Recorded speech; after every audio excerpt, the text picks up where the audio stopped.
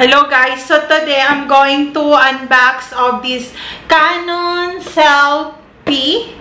Selfie, this is the postcard color, color, ink, and the paper set.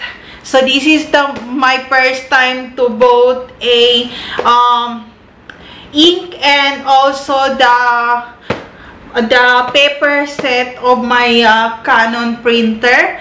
So as you can see, this is how it looks like guys. And I'm so excited. And now I'm going to open it. So when you open it, this is how it looks like the packaging. And there's a two ink inside.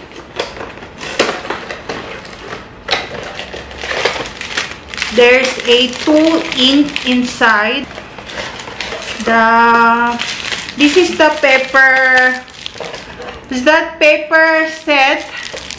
Please don't forget to like, share, subscribe, and press the bell button.